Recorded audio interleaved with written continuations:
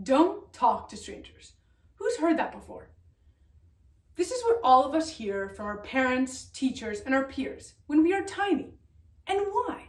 According to psychological science, children as young as seven already evaluate trustworthiness in strangers as accurately as adults do. But still, for a fear of the unknown, we try to avoid all communication with strangers. And I do have to commend us because now, in the 21st century, we have perfected the art of not talking with strangers through our tech gadgets. Today, when we walk down the streets on our phones with AirPods in our ears, we pass people on the street without even acknowledging their presence. Because why would we? Are they going to introduce me to my soulmate? Are they going to find me my next job? Probably not. So it seems that having conversations with strangers is a total waste of time. And anyway, we are so busy. Now, I want to convince you of the opposite that speaking with strangers and diving into the unknown will improve your life tremendously, both by giving you more opportunities and connecting you with your community. Now, imagine it is 8:30 in the morning and you click the elevator door on the 8th floor of your apartment building to get to work. You are coffee in hand and you walk into the elevator and all of a sudden the elevator stops. On the 7th floor. A lady walks in with her two dogs. What do you do? A. Comment on the dogs. Oh, they're so cute. B. Pull out your phone and pretend to do something of utmost importance. Or C. Stand awkwardly sipping your coffee. So just think to yourself and be completely honest. Who would pick option A? I see you friendly folks out there. And B? And here, the masters of acting. And C? Ah, yes, there are my fellow awkward coffee sippers. That used to be me until I was sipping a latte with my aunt one afternoon. She told me the story of how she got her current job. She was a financial advisor and got an email one morning telling her she was dismissed. That week, she sent six applications to different companies, frantically trying to get a job. Disillusioned, a month later, she got on the elevator after her Planet Fitness workout session. There were two men in the elevator, and she began to fuss about the challenges of finding a job. One of the men mentioned that his wife works for a headhunter specializing in the area she let him know she was interested in, and gave her her number. My aunt called the headhunter, and within two weeks, she had a job she loved, all from speaking with a stranger in an elevator, no less. The average New York City elevator ride lasts 118 seconds. That's it. That's what it can take to spark a conversation that leads to somewhere interesting and different, even life changing. Inspired by my own story, I decided to turn an opportunity in the elevator that lasts 118 seconds into an opportunity that lasts eight hours. I wanted to discover the stories of fellow MTA commuters by speaking with them. I got on the 6th subway train at 9 a.m. on 86th Street. This was, naturally, pre COVID 19 and I stayed on the Green Line, going up and down until 5 p.m., a total of eight hours on the subway. The entire time, my goal was to speak with people I had never met and would likely never meet again. I asked people the same question to spark off a brief conversation. If this subway car could take you anywhere, where would you go?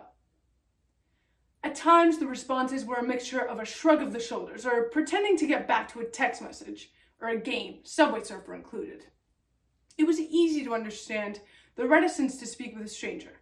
I think several people thought I was positively mad and distanced themselves from me as if I had the flu. The people I did spark a connection with, though, shared fascinating responses to my question. I met a young man who answered me by pointing up to an advertisement in the car about holidaying in Florida. He wanted the train to take him to the white beaches and blue sea, to share the spot with his boyfriend. He wanted to get away from the hurly-burly. A totally different perspective came from an older woman who said she wanted the subway to take her to Mars. For all of her life, she loved astronomy, and today, with the rise of astrobiology, which she explained to me means the study of life on planets, she wanted to see for herself the possibility of life on Mars. So there I was, sitting with this person on the subway car who was an Elon Musk type visionary. A third and final sample from my more than 200 interactions was of a mother of five children who was expecting a sixth. She told me she wanted the subway car to take her home, exactly where she was headed. She wanted to open the front door to her home and feel the warm hugs of her children after a long day in a small cubicle. She hoped there wouldn't be a delay in the trains, for she was eager to prepare dinner for her children, their favorite, pasta with tomato sauce. I wanted to join her for that too. The average New Yorker spends six hours commuting each week, most of which takes place in the company of fellow commuters. That's fertile ground to reach out to a stranger and get some type of conversation going, even if it's just to commend them on something or other. In fact, it's in everyone's best interest. A 2014 study conducted by Nicholas Epley and Juliana Schroeder, published in the Association for Psychological Science, found the commuters who spoke with their fellow subway or bus riders had a more positive and equally productive commute.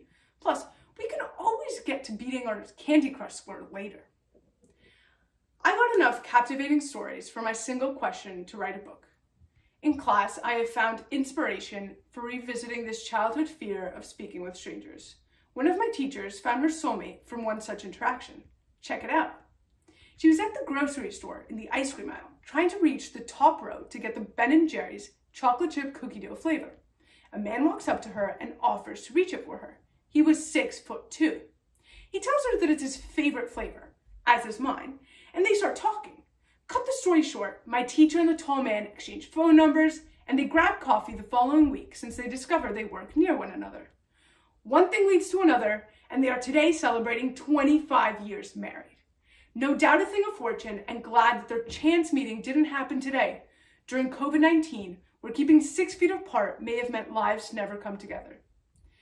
Let's hope we can restart our social lives soon.